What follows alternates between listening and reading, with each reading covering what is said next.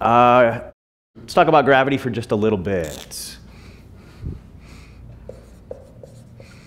So this is the first major force we'll encounter, and again, it's a non-contact force. Two objects do not have to be in contact for gravity to operate on them, so it, we set up a gravitational field, we say, and for two objects to feel gravity, what do both objects need to have? Mass. So it turns out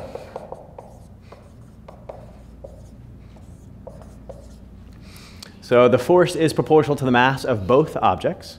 It's inversely proportional to the distance of separation squared between them.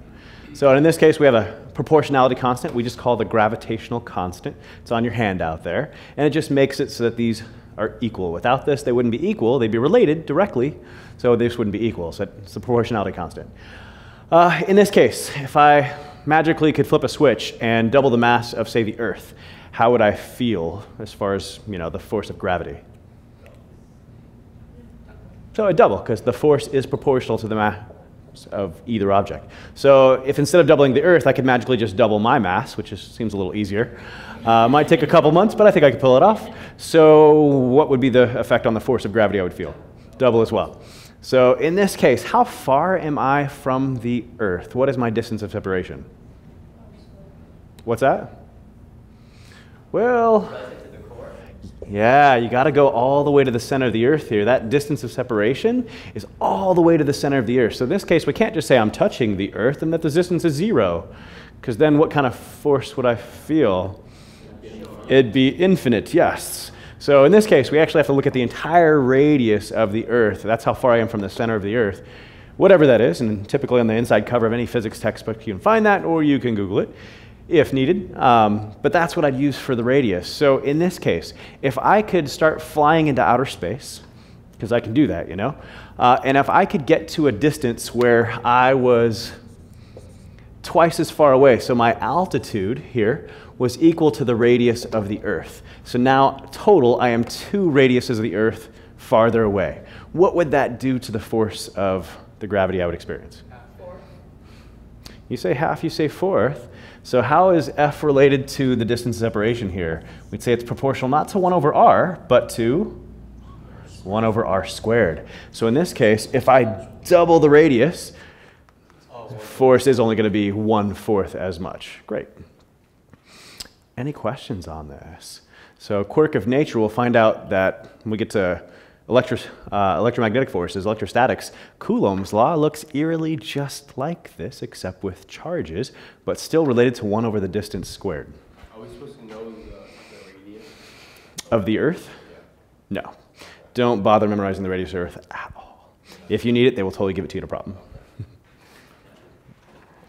so, question number one on your handout here says, if a planet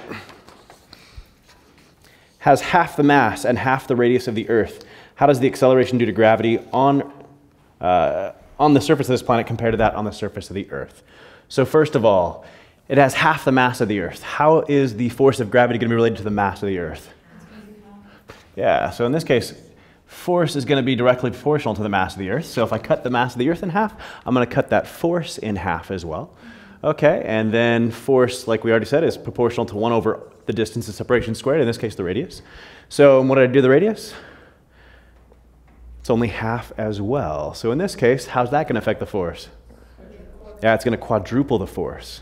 So if that's only half as much, so 1 half squared, so 1 over 1 half squared rather is 4 times greater. So in this case, because the mass is half, it's half as big. But because the radius is half as big, it's 4 times greater. And so overall, yeah, the force of gravity is going to be double on the surface of that planet compared to Earth. So what is the acceleration due to gravity on the surface of the Earth? 9.8 meters per second squared. What would it be on the surface of this planet?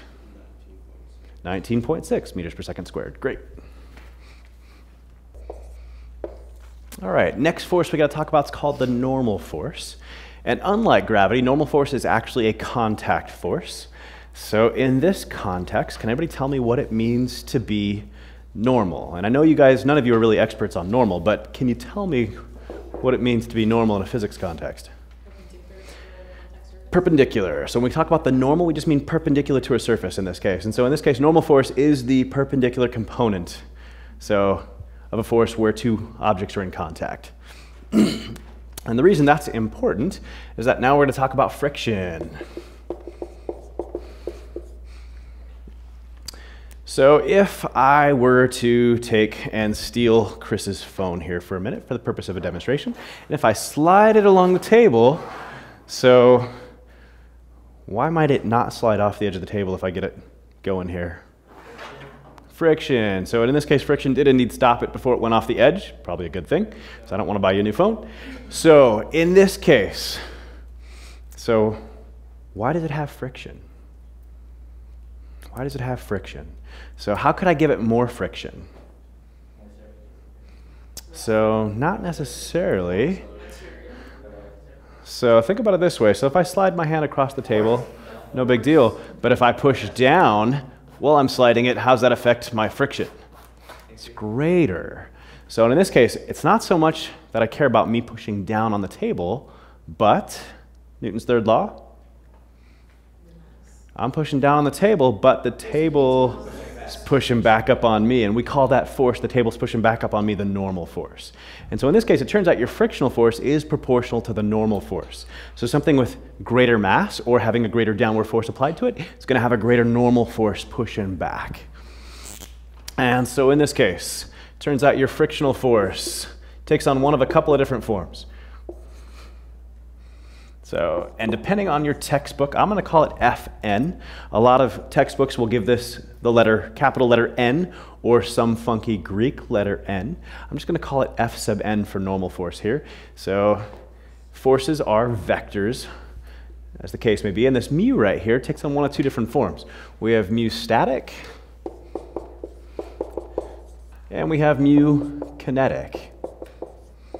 So it turns out if the object is not moving, it turns out it's going to take a little bit more force to overcome the friction to get it moving. Then once you've got it moving, maintaining it is actually easier. So it turns out you get some little spot welds forming between the two surfaces. And so to get it moving takes a little more force than just to keep it moving once it's going. And so we have two different coefficients of friction.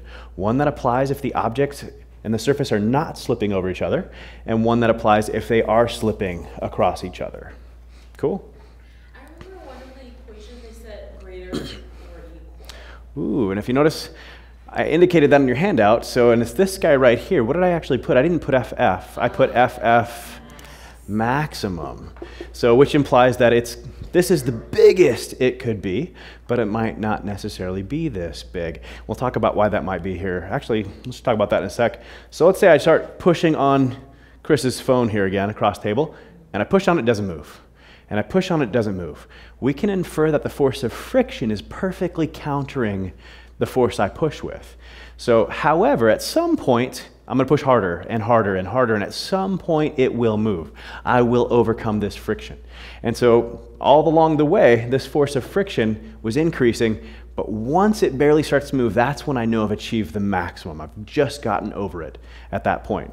And so, you can't actually say that your force of static friction is actually equal to this equation unless you know you're at that point of maximum. Cool. We'll have a question on that here shortly.